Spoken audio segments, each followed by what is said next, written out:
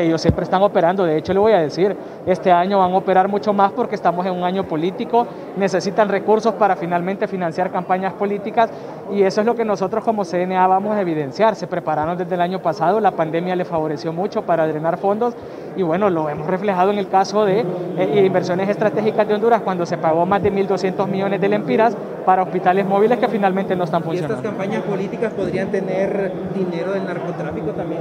Eso habría que eh, investigarlo, le corresponde a la Comisión de Política Limpia poder emitir los correspondientes informes, sin embargo como CNA vamos a investigar todas las circunstancias de corrupción que se vean involucradas y que se vean también inmiscuidas en, en el proceso electoral.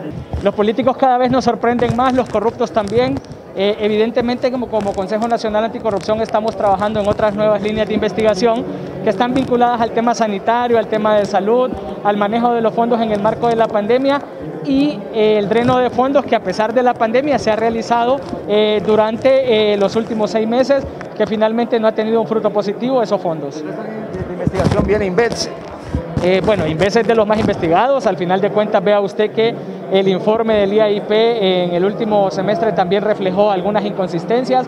Como Consejo Nacional Anticorrupción continuamos indagando este tipo de circunstancias y una vez nosotros finalicemos estos informes los vamos a dar a conocer. ¿No ha iniciado a operar los hospitales móviles? ¿Qué opinión le merece? Bueno, ya el Consejo Nacional Anticorrupción ha emitido sus correspondientes comunicados, sus informes. Eh, de hecho, estamos trabajando en otros. Vea usted que eh, el único que está funcionando es el mismo de San Pedro Sula, pero bajo una serie de circunstancias bastante complicadas. Sabemos de que al final de cuentas los mismos no están funcionando porque nos dan la razón. No son hospitales eh, móviles como tal, son unos triajes, la funcionalidad de los mismos no es oportuna para dar una atención a los pacientes COVID. Sin embargo, hoy tenemos una gran cantidad de personas contagiadas en el país y no pueden ser atendidas.